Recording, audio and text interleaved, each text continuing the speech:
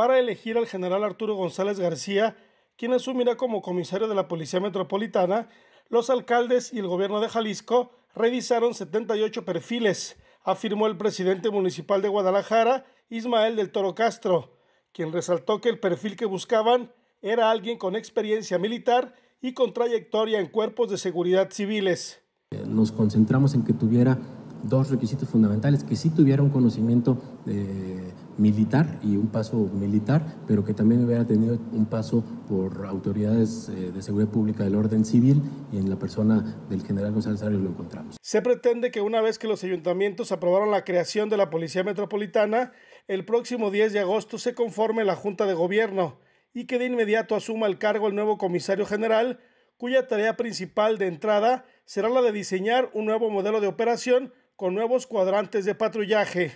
Una vez conformada la Junta de Gobierno y teniendo ya la capacidad de nombrar al, comisario, eh, la primera etapa será que este comisario, con, su, con mando sobre los comisarios de cada municipio, pueda reorganizar un esquema operativo de cuadrantes y empezar desde ya a tener patrullajes y acciones en las zonas en que hoy por la frontera o la división entre municipios no se permite eh, tener una, una estrategia articulada. Ante las críticas que se han hecho a la premura para crear la Policía Metropolitana, Del Toro respondió lo siguiente. Mira, me parece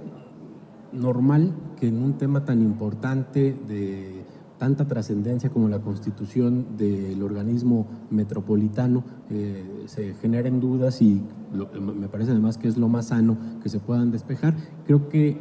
no se ha terminado de comprender que el primer paso, que es lo que ya se aprobó hoy eh, por el Pleno del Ayuntamiento, es la constitución, el dar nacimiento jurídico a la figura que permite que haya un cuerpo colegiado, que es el OPD, y que se genera la Junta de Gobierno, y en el propio convenio derivaba con toda claridad o deriva con toda claridad que tanto la reglamentación, el esquema operativo, el esquema administrativo y financiero se tendrá que hacer ya después del nacimiento de este OPD. La Policía Metropolitana estará conformada por 7.500 elementos y con el personal de las áreas administrativas, la corporación puede llegar a 9.000 personas. La corporación manejará un presupuesto anual de 4 mil millones de pesos.